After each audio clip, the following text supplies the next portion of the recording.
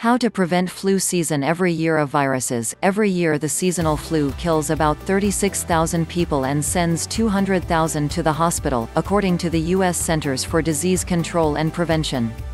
Every year during flu season, typically starting around Thanksgiving and peaking around Christmas, there's a rush to get flu shots, especially among the elderly, the ill, and the very young. The concern is well grounded. For most sufferers, between 5 and 20% of the population every year, the flu brings fever, headaches, fatigue, aches and pains, stomach distress and other symptoms that make life miserable for days. Rumor of a pandemic flu outbreak has brought increased concern. It's important to understand exactly what this means, rather than just being fearful of something arriving at the nearest airport to which you have no defense. Viruses are the invading organisms responsible for most epidemic illnesses. Virus-caused illnesses range from the common cold to cold sores, warts, measles and chicken pox, hepatitis, West Nile virus, the ordinary flu, and AIDS. Most recently, it's the avian flu that has people on edge. We can help prevent the passage of viruses from person to person by avoiding large indoor gatherings of people right during the holiday season, and exercising good sanitary practices, washing hands often, using tissues, ventilation of rooms, etc. Viruses are known to be resistant to pharmaceutical antibiotics. Many public health experts have pinned their hopes on the antiviral drug Tamiflu to fight the avian flu, for example, only to find that resistant cases are emerging. A flu virus mutates frequently and sometimes a new strain emerges that humans have not been exposed to. If the strain spreads easily between humans, it can cause widespread death and overwhelm global health resources. It's important to realize that the avian flu is not passed easily between humans, it seems to mostly be passed from poultry to humans. A flu virus from half a world away is one to which you will most likely have no immunity, unlike the local ones you contact, and the mutations can leave us even more defenseless. Enter the powerful healing properties of the oil of the tea tree, Melaleuca alternifolia.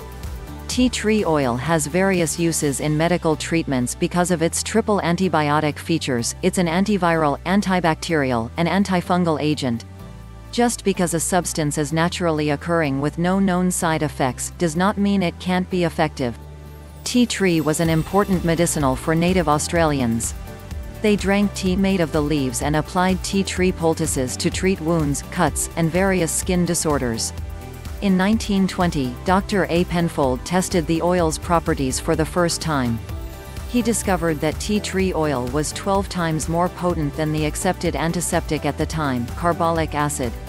Dr. Penfold's research prompted further testing in the following decades, contributing to its increasing use by the public. Tea tree oil is a valuable alternative to pharmaceuticals.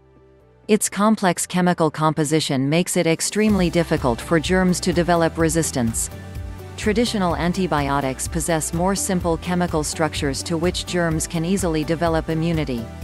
Tea tree oil is readily absorbed and it continues to block germ growth at the site for several days after the initial application. The oil is a proven immunostimulant and antiviral agent, it is even currently being tested in the treatment of AIDS. You should apply a small test amount to the skin before using it for the first time. As with any product, there is always the chance of sensitivity in any particular individual. Adding a couple drops to a vaporizer and inhaling the steam helps to freshen and disinfect the air, killing germs that infect the sinuses and lungs, and opening clogged respiratory passages. The oil can be rubbed into the skin at full strength, or mixed with a carrier oil or lotion.